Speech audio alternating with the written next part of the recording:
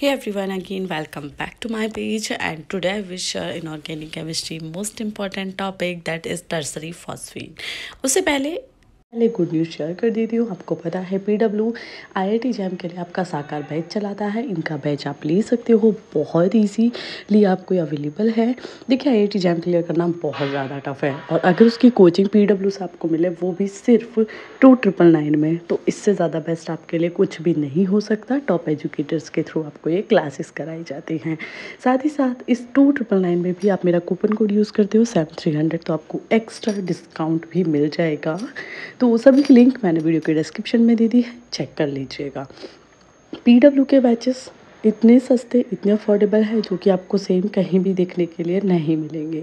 तो उसके लिए आपको कंटिन्यूसली लिंक को चेकआउट करना है। स्पेशल जो भी ऑफर्स पी डब्ल्यू के होंगे, वो मैं आपके साथ शेयर करती रहूँगी। ये मेरा कूपन कोड है डिस्काउंट के लिए सैन थ्री हंड्रेड तो इसे ज़रूर फॉलो कर लेना। जब आप इसे अपलोड करोगे तो आपको एक्स्ट्रा डिस्काउंट मिल जाएगा। इनके बैच में so just check out the description description box for more details या अब आ जाते अपने टॉपिक पे टर्सरी फॉस्फी नज़र लिकेट वेरी शॉर्ट टाइप में या शॉर्ट टाइप में आपको टॉपिक देखने के लिए मिल जाएगा टर्सरी फॉस्फीन तो स्टार्ट कर देते हैं. Phosphine is colourless and highly toxic gas with garlic smell phosphine क्या होता है? जब भी आपसे अगर वेरी शॉर्ट में आता है तो आपको एक लाइन में आंसर लिखना है.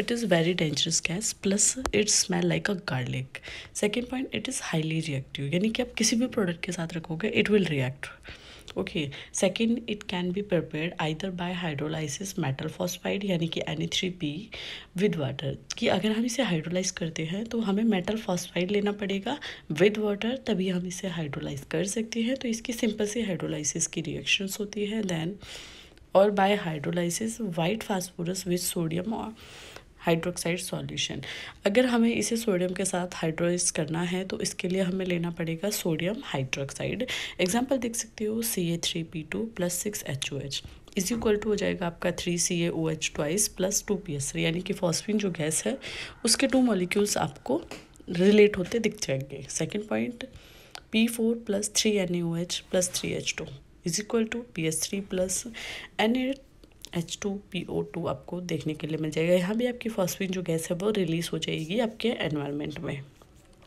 अगेन थियोरटिकल पार्ट पे आ जाते हैं। It is less soluble in water but more soluble in C S two and other organic solvent बहुत ईजीली आपकी फॉस्फिन गैस जो है, वो वाटर में सॉलेबल नहीं होती है बट येस ऑर्गेनिक सॉल्वेंट होते हैं, उनके साथ ईजीली ये सॉलेबल हो जाती है।